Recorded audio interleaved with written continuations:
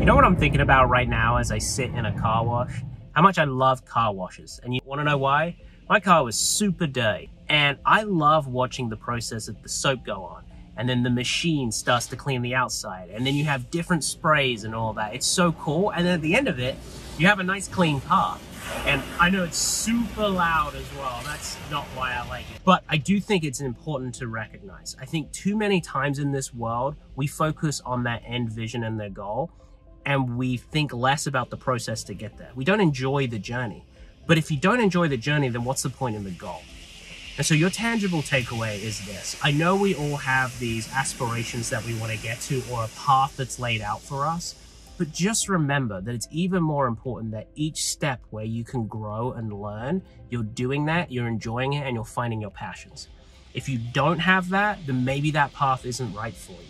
But don't think that the end goal, the end result is going to bring you happiness. If you're not happy along the way and you're not passionate, you won't be towards the end.